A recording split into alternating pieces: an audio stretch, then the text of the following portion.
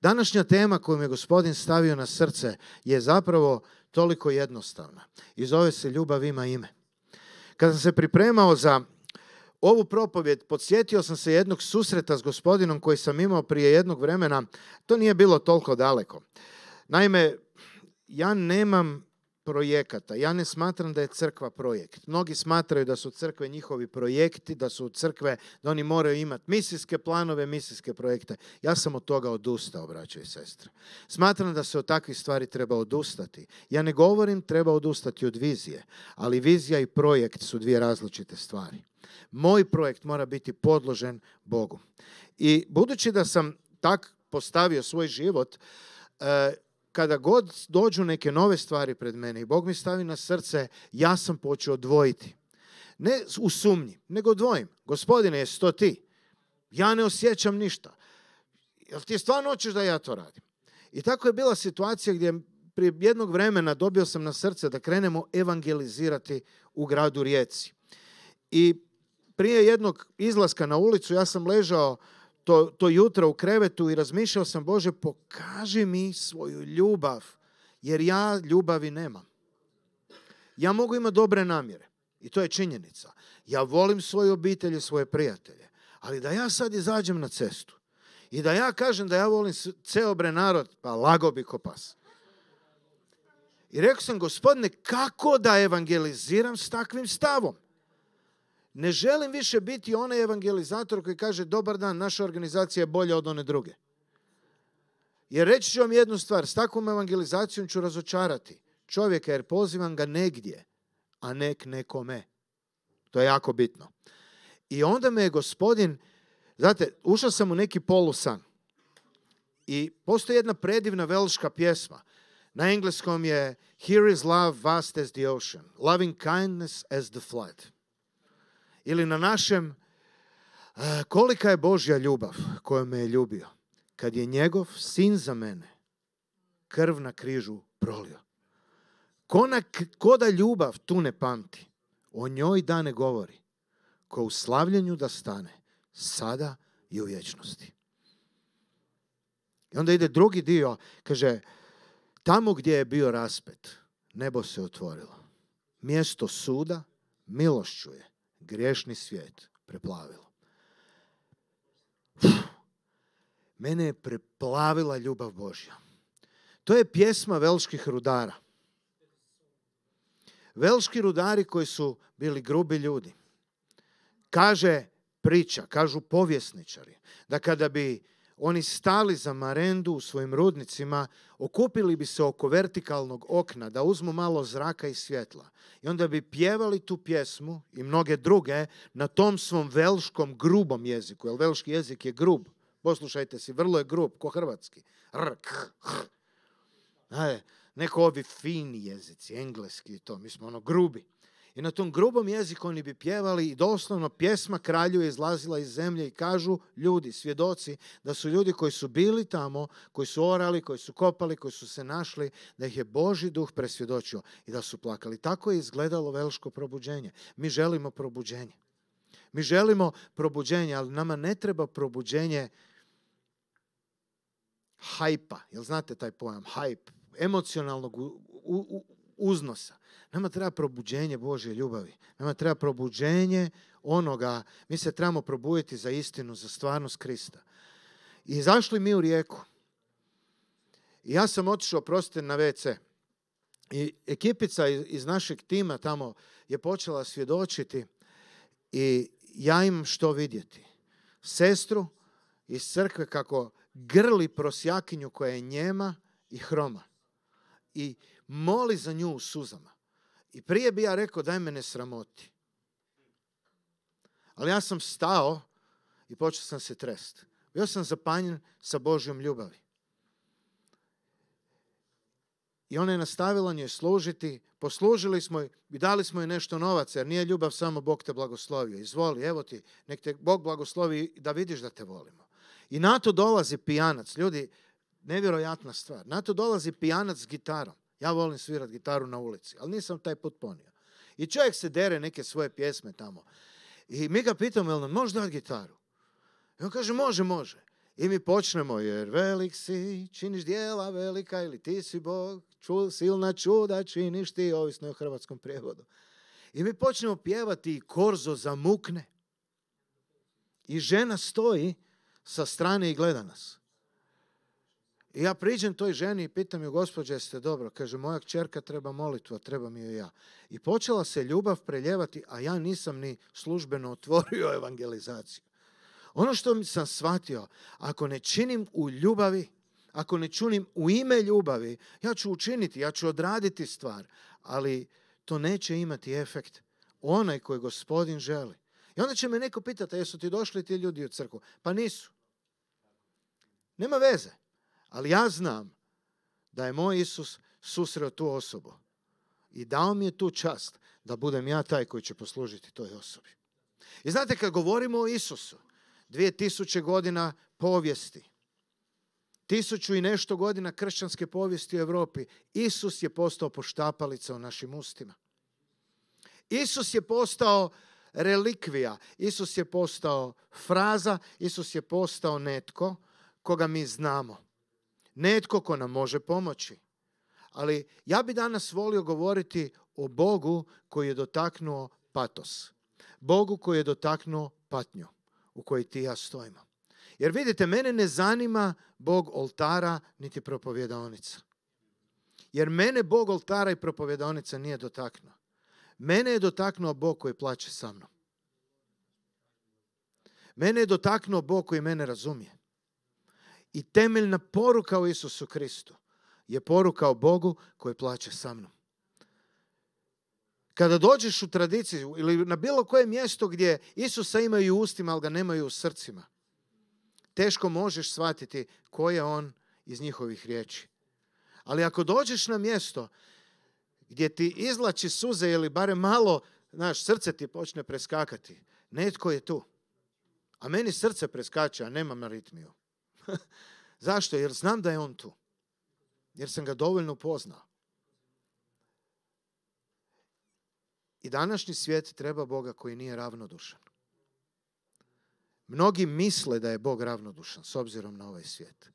Mnogi glasovi, ja ih zovem projektanti, koji propovjedaju iz određenih drugih motiva, koji rade iz određenih drugih namjera, propovjedaju drugačijeg Krista. Propovjedaju Krista koji će te blagosloviti, propovjedaju pličinu ili evanđelje u razrijeđenoj formi. Ali ono što mi moramo razumjeti, da evanđelje u razrijeđenoj formi koni vevanda ne može opiti nikoga i ne može donijeti osvježenje nikome. Nama treba istina. A istina je ova, da Isus Krist, ko je On? On nije došao da ti donese bolji život. On nije došao da te blagoslovi i da ti tvoj eto takav život kakav jeste još malo poboljša. Ne. Saslušaj me, on je došao uništiti ono što jeste da bi stvorio ono što nije. Glas u pustinji viče, pripravite put gospodinu. To ne znači da on ne voli tvoj život. To ne znači da on ne cijeni tvoj život. Ali da je naš život, moj život, mogao mene dovesti k Bogu, onda moj gospodin ne bi trebao biti na križu. Onda Isus ne bi trebao biti na križu. Onda nam je dovoljna kršćanska filozofija. Dovoljna nam je ideja. Ali nama, nama filozofija nije dovoljna. I ono što mi trebamo danas ponovno, probuđenje, pravo probuđenje, jeste probuđenje Isusa Krista u našim srcima. Da se probudimo u stvarnost da Bog nije ravnodušan. Jer On je prije svih nas plakao. Prije nego što si zaplakao prvu suzu, On je plakao za tebe. To, to me je pogodilo. Ta pjesma me je pogodila. On je plakao. On je na križu vikao, Eli, Eli, lama sabahtani, prije nego što sam ja ikad rekao, Bože, imali te. U moje ime. Za mene, za tebe, za nas. Njegovo veličanstvo. Isus Krist sišao je na zemlju. Postoje poput nas. Kako bi mi mogli živjeti život kakav Bog želi. Ali to nije život blesmi. Iako je dobro biti blagosloven. Ja volim blagoslove. To nije loše. Ali ako je to samo fokus, ako je fokus samo na svježem proroštvu, ako je fokus na svježoj knjizi, na svježem otkrivenju, onda mi zaboravljamo primarnu stvar.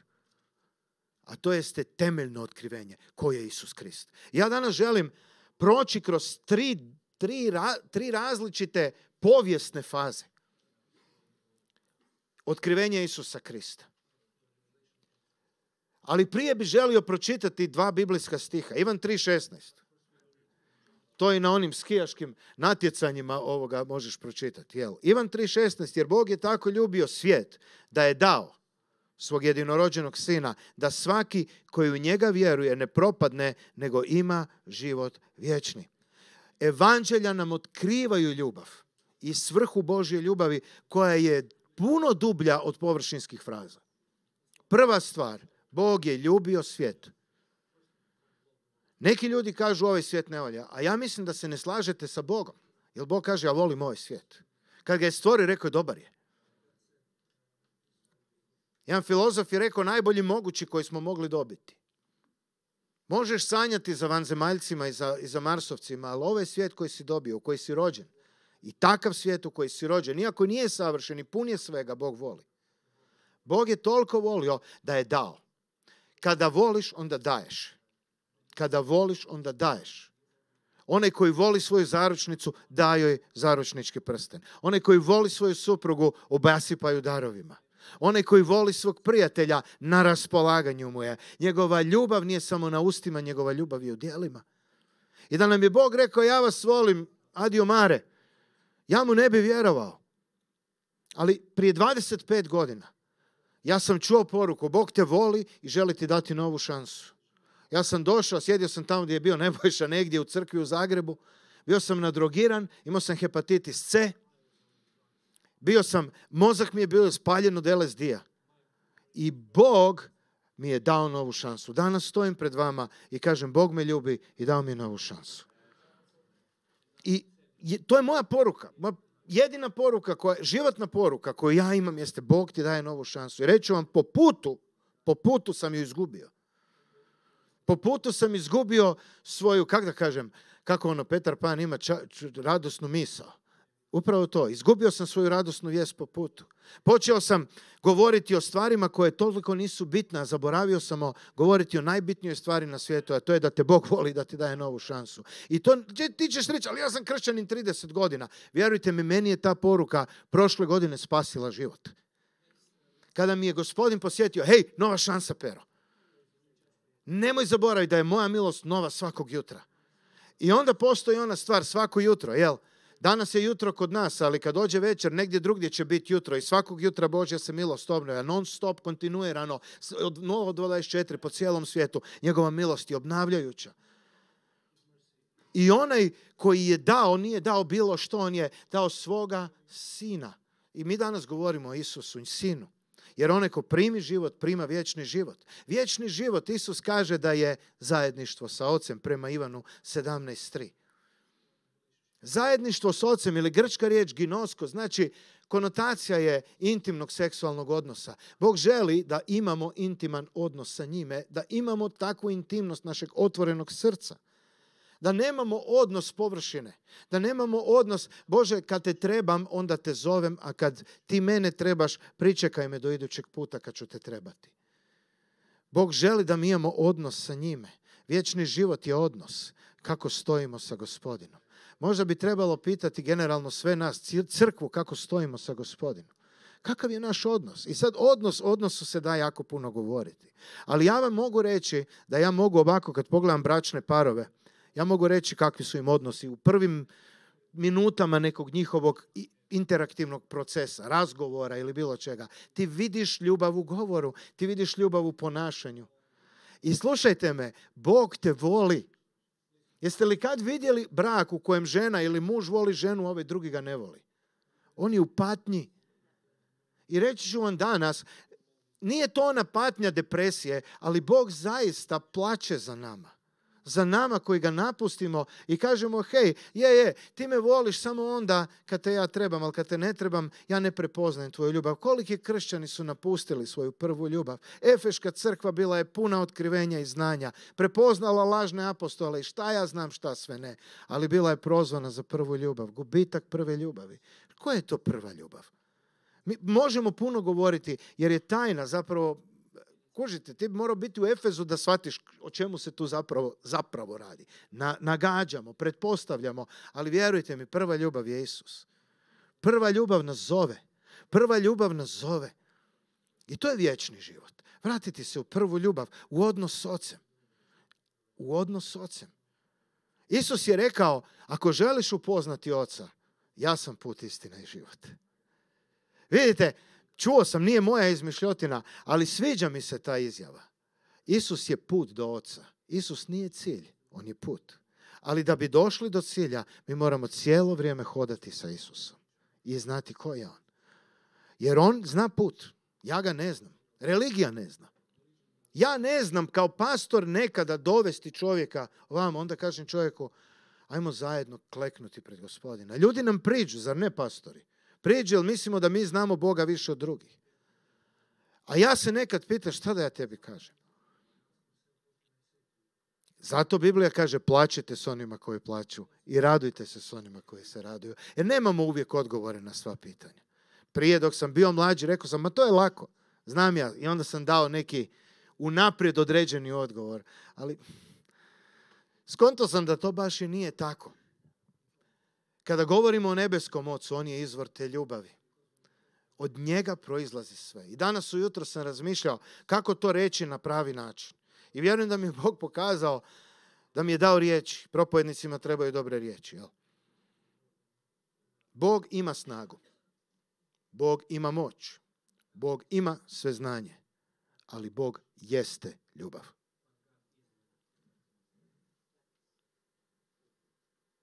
Kada govorimo o Božjem karakteru, temeljna, temeljna stvar njegovog karaktera je ljubav.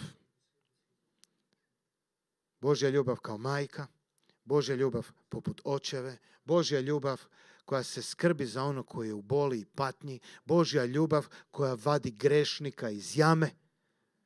To je sva ljubav, takav on jeste.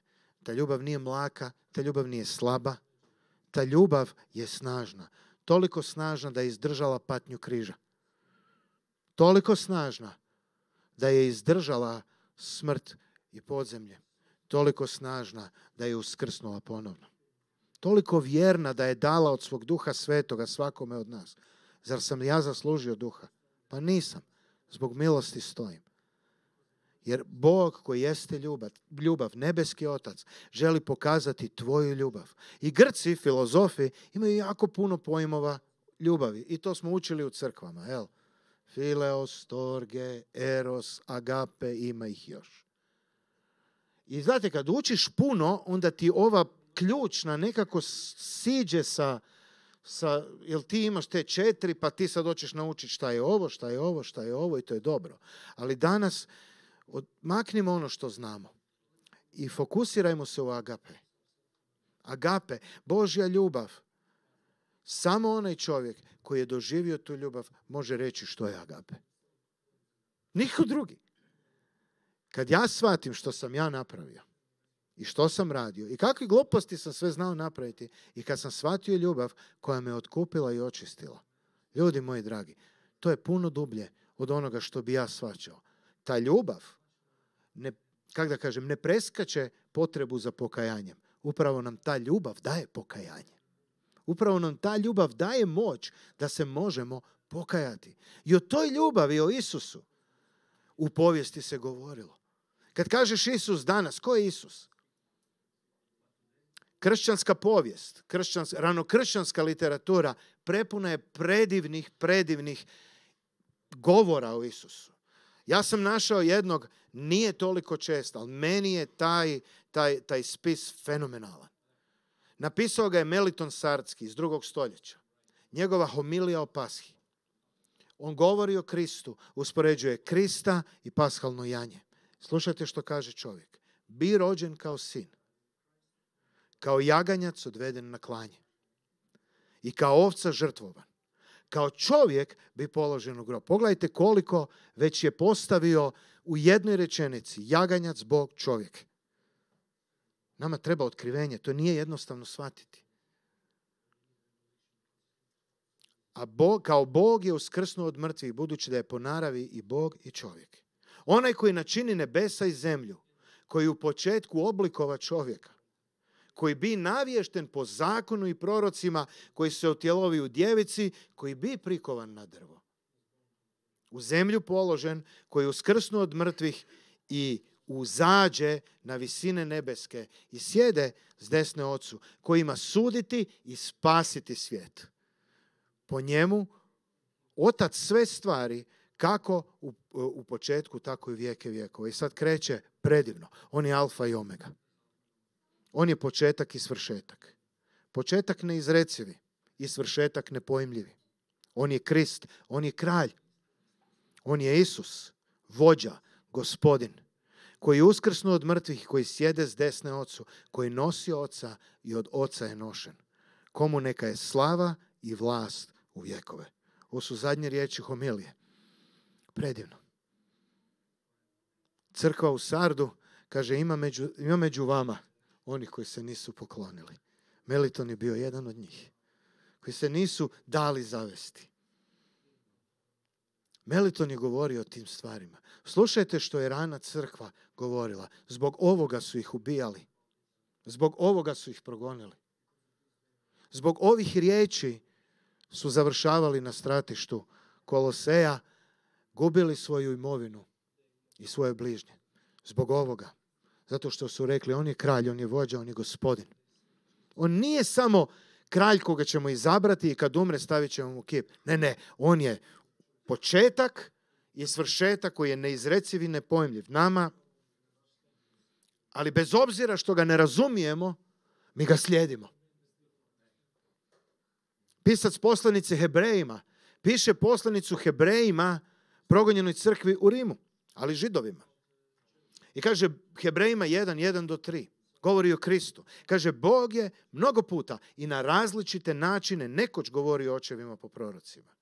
U ovim je posljednjim danima progovorio po svom sinu. I ova riječ progovorio je jako bitna. To je grčka riječ elalesen. To ne znači da je progovorio odjedanput. Evo sad sam ja rekao. Ja sam progovorio i završio govor. Drugim riječima, što nam pisac Hebreja želi reći, neće doći neki novi Isus. Neće doći neki novi spasitelj. Neće doći neki novi Mesija koji će staviti aneks na novi zavjet. Kao što se na neki način sa starim zavjetom moralo nešto korigirati. Neće doći. Jer je Bog progovorio. Elalesen, on je završio svoj govor. On je po sinu progovorio. To ne znači da danas nemamo proročkih službi, apostolskih službi i tako dalje i tako bliže. Ali poruka je Krist. Poruka je evanđelje. Nema sad nekog drugog. I to Pavao također govori. Nema nekog drugog evanđelja. Jer evanđelje je Isus Krist. I znate, kad sam počeo razmišljati o ovoj poruci, kad sam počeo istraživati koji je to apostolski nauk. Dijela 2.42. Znate koji je apostolski nauk? Isus Krist. Kad god sam tražio u djelima apostolskim šta su oni propovjedali, kaže ovako, propovjedali su Krista, navješćivali su Isusa, navješćivali su riječ. A to vam je sve ista stvar, Isus Krist. Što je apostolski nauk? Isus Krist. Šta danas apostoli naučavaju? Sve samo ne Isusa Krista. Stavio sam navodnike za ove koji možda slušaju. Navodni apostol. Ja vjerujem u apostolsku službu, ali apostol mora naučavati ono što riječ kaže, a to jeste navješćivati Isusa Krista. To crkva treba navješćivati. Ako onaj koji vodi crkvu ne navješćuje Krista, kako će crkva navješćivati? Pa to je nemoguće. I kaže on dalje, progovorio nam je po svome sinu, kojega je postavio baštinikom svega, po kome je i svjetove stvorio. Meliton izgleda čito Hebreje. On je sjaj, odsjaj njegovo, njegove slave i otisak njegove osobe, te sve nosi riječju svoje snage, pošto je sam sebe očistio, pošto je sam kroz sebe očistio naše grijehe, sjeo je s desne veličanstva u visini. On se vraća u postanak. On kaže, hej, od postanka je. Pa ga je govorio po prorocima. I evo ga na, pred vama je bio. Govori. Suosjeća. On nije samo uzeo usta proroka, on je uzeo tijelo čovjeka. On nije samo uzeo ili obuzeo proročku pisaljku, on je postao to što su proroci najavljivali. I onda ga prebacuje u patnika koji čisti svojom krvi naše grijehe. Hej ljudi, četvrtak ili petak razgovaram s čovjekom i on meni priča o Isusu, o Bogu, o vjeri, a ne može pojmiti oproštenje drugoj osobi. I ja više ne znam šta ću i pitam čovjeka, jer ima iskustvo u zatvoru. Rekao, zamisli prijatelju, dolaziš na sud. Ti znaš da si kriv, čita se rješenje, znaš da ideš u boksu i odjedanput dolazi netko. I kaže, časni sude, znam da je ovaj kriv, ali mogu li ja? Mogu li ja u zatvoru umjesto njega? A kaže, to je nemoguće. Znam da je nemoguće, ali molim te, uživi se. I čovjek se uživi malo u priči i kaže, sad razumijem što je Isus učinio za mene. Jednostavno je, to se čuje često sa propovjedaonice, ali probajmo se uživiti jer to je Isus učinio. On je svojom krvlju očistio moj grijeh. Zašto Isuse? Zato što me voli. Zato što me voli. Zašto? On to nije morao. Ovaj svijet je mogao ostati napušten sam bez Boga. Bog je mogao okrenuti leđa i reći doviđenja, doviđorno. Nikad više s vama. Ali nije. Zato što nas voli. Dao nam je svog sina. Na kraju on je taj Mesija, židovski kralj. On je taj spasitelj svijeta. Na kraju ga Hebrejima, to je spisac poslanice Hebreja, objavljuje takvog. Slično kao i Meliton. I sada se dolazi do onog trećeg, ja bih rekao, najaktualnijeg za naše vrijeme. Apostola Ivana. Znači, povijest crkve govori i prepozna Isusa kao vođu spasenja, kao onoga koji nas je očistio, kao onoga bez koga mi ne možemo i kome jedinome moramo dati slavu i čast. Biblijski pisci govore o tome. Ali danas ljudi kažu treba vjerovati u nešto. Jeste čuli kad ljudi kažu? Ima ono nešto. To kažu i ovi iz, iz, iz dubioze kolektiva. Da ima ono nešto. E pa znate da je i u Bibliji ono nešto spomenuto. Ne tim riječima, ali jeste. Ivan 1, 1 do 5 i 9 do 14. Malo duži pasus. U početku je bio on riječ i on riječ bio je s Bogom. On riječ bio je Bog. On je u početku bio s Bogom. Sve je po njemu postalo i ništa što je postalo nije bez njega posla. Ponavlja se, jel, priča koju već treći put ponavljamo. Ali ovo je jako bitno, ovdje nam se krije jedna tajna. U njemu je bio život i život je bio svjetlo ljudima. I svjetlo svjetli u tami i tama ga nije osvojila. Bilo je to istinsko svjetlo sa velikim sve, koje rasvjetljuje svakog čovjeka koji dolazi na ovaj svijet. Bio je na svijetu i svijet je po njemu postao, a svijet ga nije upoznao. K svojima je došao, njegovi ga nisu prihvatili. Ali, svima koji su ga prihvatili, njima je dao moć da postanu sinovi Boži. Onima koji vjeruju njegovo ime, ime, ime koji nisu rođeni od krvi, ni od volje tjelesne, ni od volje muškarca, nego od Boga. I on riječ tijelom je postao i nastanio se među nama i promatrali smo njegovu slavu kao jedinorođenog od oca, punog milosti istine. Apostol Ivan piše ove riječi u Efezu. Efeški, Efeška biblioteka, Efeški hram Dijane i tako dalje, ili Artemide, kako god hoćete. E, veliki grad, pun znači jedna metropola. Grad koji odiše e, jednim, ko New York danas. Znate, svi znaju sve različite filozofije religije i usred toga on počinje govoriti o riječi. On počinje govoriti o riječi po kojoj je sve stvoreno. I onda mi to ne razumijemo danas, ali zato je bitno to posvjetliti kako bi mi dobili tu poruku za danas. A to jeste riječ o kojoj on spominje, grčka riječ logos, pojam logos. Postoji filozofija, logos filozofija, koja je stara duže od kršćanstva. 500 godina prije nove ere pojavila se ideja logosa. Logos je taj koji nije bio osobito pristupačan. Logos je sve stvorio, po logosu je sve nastalo, on je uzrok svemu, ali ga nije baš briga. Zbog logosa je siromašan siromašan, a bogat bogat. Logos je taj koji upravlja svim, ali se udaljuju od svega, pa su onda ljudi izmislili bogove, kako bi barem malo u onoj patnji svojoj jadu i bijedi zavapili nekom Zeusu ili nekome.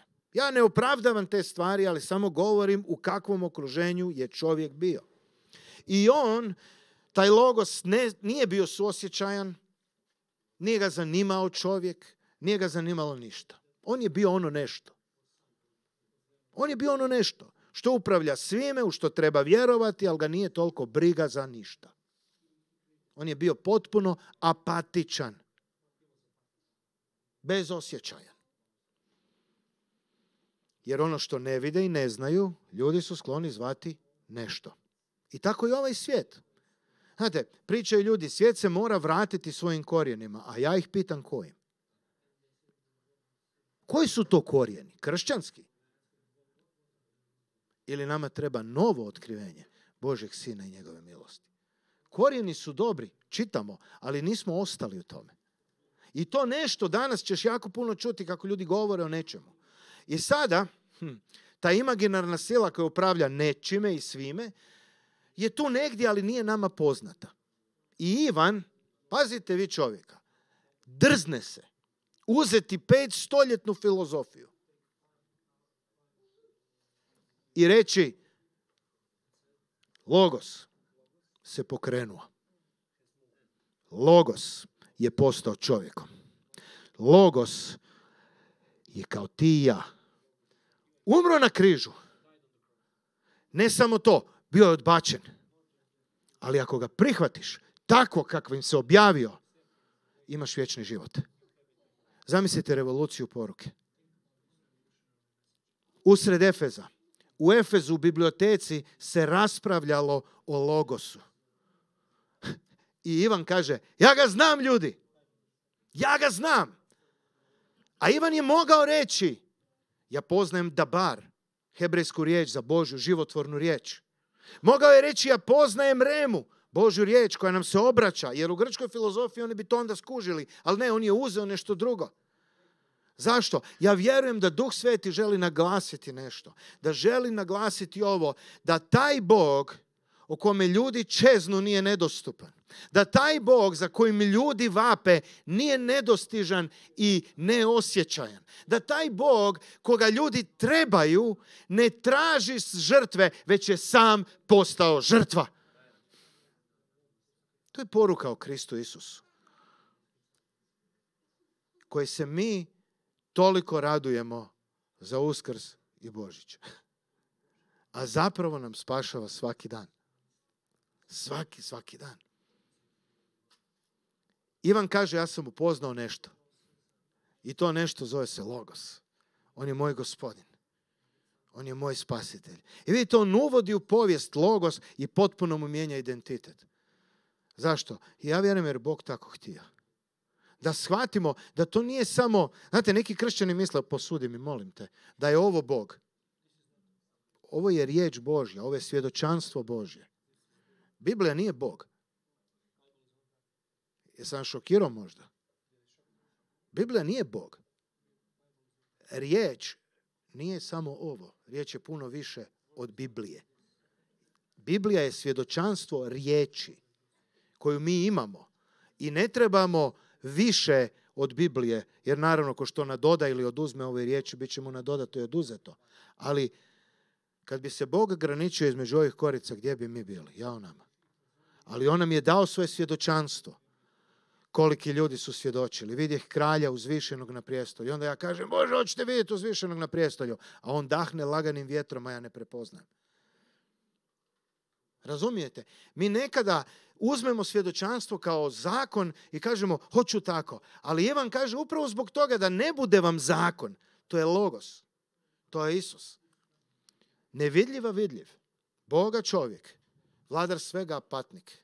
Onaj koji može sve, ali s tobom suosjeća. Ja koji sjedim na prijestolju visoko i uzvišenu, jesam Bog, ali stojim sa onim koji je ponižen, sa onim koji pati.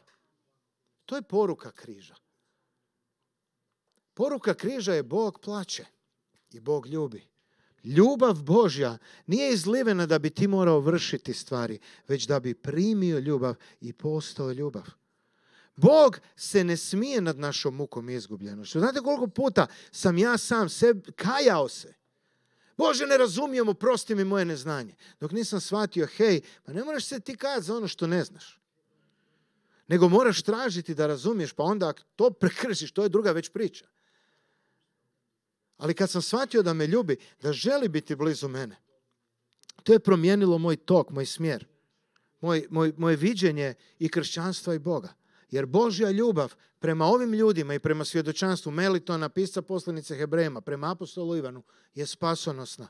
Jer ona ne ostavlja čovjeka u blatu. To je predivno. Koliko god blato da jeste, Biblija kaže da će on gurnuti svoju ruku u blato i da ćete iščupati i stavit ćete na stijenu spasenja. Božja ljubav je obnavljajuća i meni je to jako bitno. Iskreno vam kažem. Jer meni treba obnova. I nekad mi dođemo i kažemo gotovo ja sam gotov. Jeste kad osjećate tako? Gotovo je. Ja sam iskoristio sve bonuse. Ja sam gotov. Ali Božja ljubav je obnavljajuća. Ona se obnavlja svakog jutra i ona obnavlja tebe. Božja ljubav je otkupljujuća. Jer Boži sin nije umro za sebe, nego je umro za nas, učiniši dijelo otkupljenja. I o otkupljenju bi se jako puno moglo govoriti. Otkupljenje i služba pomirenja su vam praktično jedna te ista riječ. Jer služba pomirenja u sebi nosi nešto što se zove zamjena. Kada bi uzeo onaj koji kupuje novčić ili šta god je imao i dao onome koju prodaje, onda bi izvršili zamjenu. A ista se riječ prevodi kao pomirenje. Ista riječ. Drugim riječima, moralo je nešto biti dato, to jest morao se netko dati. Kako bi mi bili oslobođeni. Božja ljubav je takva. Božja ljubav je iscijeljujuća kako je Bog prošao, kako je Isus prošao okolo, čineći dobro i ozdravljajući sve koje đavo bijaš tlačio. Vidite, kada volimo, nije problem da ta ljubav teče i u taj naravni svijet iscijeljuje ljude. Znate, koliko Bog treba onih u ovom svijetu koji vole. Neko će naplatiti svoje iscijeljenje. Neko će reći zato što si iscijeljen pripadaš meni. Zato što sam te oslobodio pripadaš meni. Ne, ne, ne. Besplatno ste primili, besplatno dajte. To je Božja ljubav. Oni koji naplaćuju, to više nije ljubav. To je razmjena. To je nešto drugo. Neću govoriti riječ koja mi je sad pala na pamet. Božja ljubav je oslobađajuća. Ona nas oslobađa. Oslobađa od grijeha. Oslobađa ne samo od onog iskonskog prvog grijeha kad si došao pa se sjećaš kakav si bio već i danas. Danas smo pjevali, gospodine, napravi put u meni. Ja ti radim put kako bi ti mogao doći. Jedan od stvari jeste pokajanje. Božja ljubav je vječna. Božja ljubav koja je vječna obećaje nastavak življenja, ali i ne prestaje. Ponovno dvije riječi sa dva različita značenja. A opet nose, idu prema istom. Nikad neće prestati, ali isto tako kada ti nestaneš, njegova ljubav neće prestati. Ljudi se boje smrti. Ali ako je Božja ljubav vječna, i u smrti je vječna, jer Bog je Bog živih. Ja sam prije nekoliko godina zapravo počeo promišljati o ideji mučeništva. I smatram da je ideja mučeništva zaboravljena ideja zapadne crkve. Mučeništvo može biti na različite načine. Na primjer, ti možeš se spasiti, biti obraćen i dođe neko, odsjećati glavu zato što si kršćanin. To je mučeništvo. Da li je mučeništvo kada ti stojiš za Isusa usred ljudi koji ne žele Isusa i odbačen si, ne razumiju te, stavljaju te i to je mučeništvo, ali dugotrajno. I vjerujte mi, lakše je kad ti glava padne u jednom trenutku nego kad malo, pomalo, pomalo osjećaš to. Ali u takvom mučeništvu koja je zapravo muka i patnja, on je s tobom. On je s tobom. On je s tobom. Kad promatram ljude koji su dugo bolesni, kad promatram ljude koji su psihički bolesni, koji prolaze kroz svoja psihička stanje kada se pate, ja ništa drugo ne mogu reći nego gospodine, budi s njima. Pokaži im da si s njima. Ja mogu njima biti utjeha, pomoć, razgovor, ali ja sam tu. I kad ja odem, ode i moja prisutnost, ali njegova prisutnost nikada ne odlazi. I zato je poruka o Isusu toliko važna. On nama mora postati stvarni od nas samih. I zato govorim danas, jer on želi postati svojim, svojim narodu i ovom svijetu stvarniji od naših odnosa. Kolike crkve su pukle zbog odnosa, koliki su ljudi se posvađali i tralala i tralala i tralala, ali ljudi kada bi mi shvatili, Misti Edwards je imala predivnu pjesmu, kaže, ne želim misl, govoriti kao da ti nisi u ovom, u ovom prostoru, u ovoj prostoru. I don't want to talk about you like you're not in the room. Ne želim govoriti o tebi kao da nisi ovdje. Jer ti jesi ovdje. I nekada, znate, mi dozvolimo u našim odnosima kao da njega nema. Kao da je Isus, znate, naša Amailija. Kao da je Isus nekakav čovjek koji je bio. Kao da je Isus prorok koji dođe kad nam treba. Kao da je Isus Bog koji se pojavi tu i tamo. Znate, koni Avengersi. Otvori neki portal pa dođe. Ne, Isus je tu. Jel znaš da je on tu? Predivna slika u Isusu jeste kada on hoda između sedam zlatnih svječnjaka. Mi stojimo u jednom svječnjaku. Mi stojimo u jednom svječnjaku i ako je istina ono što kaže knjiga otkrivenja, on je ovdje. On je ovdje. Jesu li naša, naša srca, naša, naš, naš um, da li on spoznaje da je on tu? I Božja ljubav nikada neće stati. Nikada. Neki ljudi kažu, ja sam doslovno čuo ljudi, ma ne isplati se evangelizirati, Bog je stao s time, mi idemo dalje. Treba se sad pripremiti za Isusov dolazak. Ja si mislim, ti nemaš pojma o Božjoj ljubavi. Pa kakav je to Bog koji kaže, ok, sad ću stati sa spasivanjem ljudi, sad ću samo ove svoje tu, malo ću se oko njih pobrinuti, onda ja dođem po njih i odo smo svi u nebo a vi svi ko vas šljivi. Zamisli da ti nisi u toj grupi ljudi koja ide u nebo. Pa sigurno bi rekao, pa Bože, nisi baš fair, nisi mi dao šansu. Jel da? Ali mi često imamo luđačke ideje u glavi koje nisu u redu i ne reflektiraju ono što Bog želi. I zato našoj generaciji je potrebno svježe krštenje. Crkve govore o svježem pentekostu. Znate šta je svježi pentekost? Ljubav Božja. Rimljanima 5.5 u naša srca izlivena je Božja ljubav po duhu svetom. Dakle, dijela apostolska dva, kada je duh sveti sišao i kada je duh sveti ušao, ono što se dogodilo, ljubav Božja je ušla.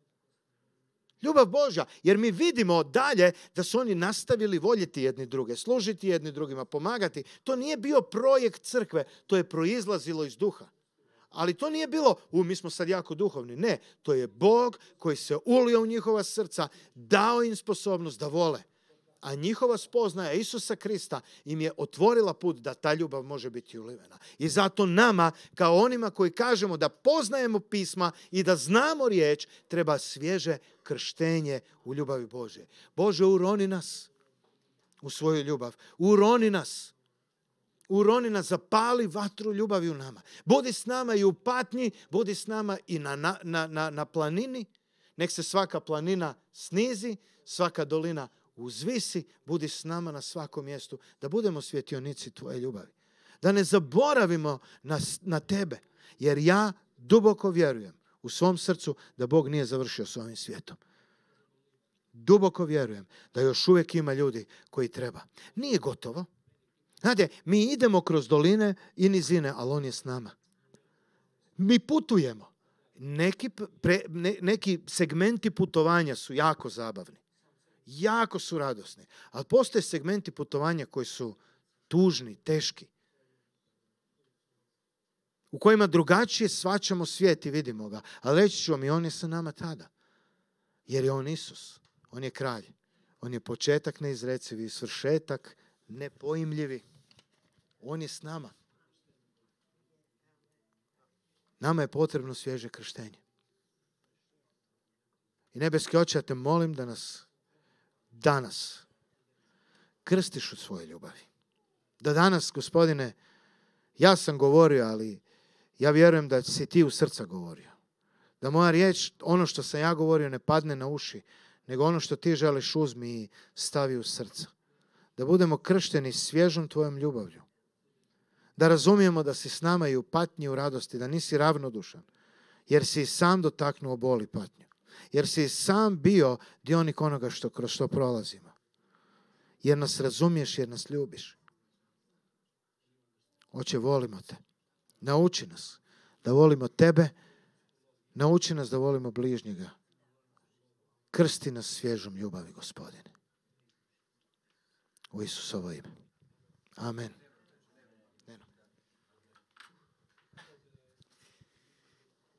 Mene ovo jako dirnulo. Želim s vama prije nego budemo pristupili tijelu i krvi gospodnjoj.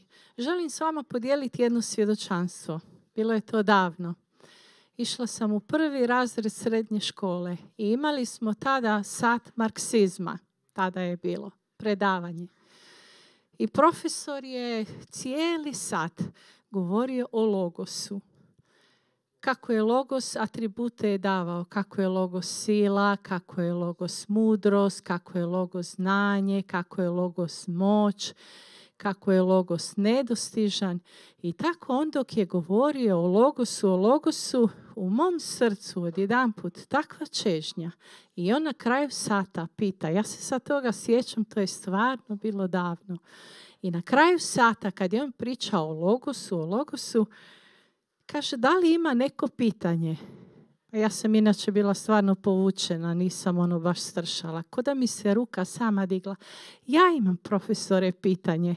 A on kaže, recite, a kako bi ja mogla upoznati taj logos?